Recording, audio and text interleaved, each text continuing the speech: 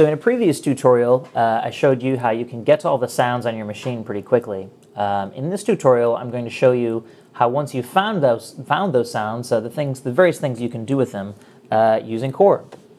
So let's do another example where I'm looking for a sound, as I showed you earlier. Let's say I'm looking for, uh, this time, a bass that is analog and distorted that I might use in, say, industrial music. So I made those specifications right there and I'm going to load one of the sounds that it's given me in my hit list right here, similar to working with like Google or something like that, where I can just type things in.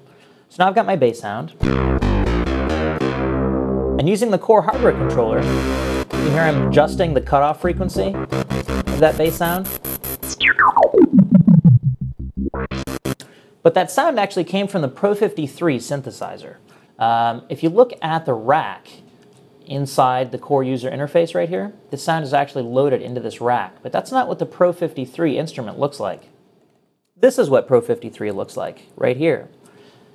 What's happened is that KORE is giving the Pro 53 just a standard rack interface that allows me to get to all of the parameters inside Pro 53 without having to worry about the ins and outs of Pro 53 itself.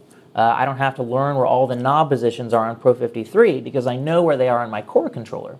And I actually have multiple pages of controllers that I can flip through on the KORE controller because I have eight knobs that I might use to control filter cutoff, um, resonance, um, oscillator A pitch, things like that.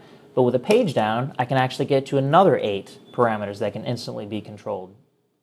If I go ahead and load another sound in here, let's say I'll load this one called uh, Playmobil Bass, um, and this one is actually inside Reaktor 5. You'll notice as I have these uh, search hits on my right-hand side that I'm loading from, I don't have to necessarily care what instrument these are coming from. All I need to know is that I'm looking for a specific sound and leave it at that. Now I'm actually playing both those sounds at once, and I can tweak one or the other of them at any given time using the KORE controller. You'll notice that it got loaded into the rack here. Now I see a second racked instrument inside here.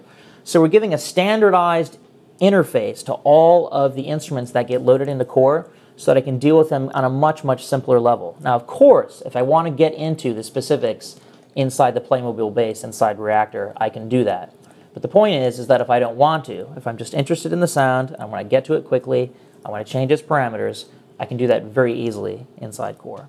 So that's kind of how you can tweak sounds in KORE and standardize and simplify working with the interfaces of the plugins themselves.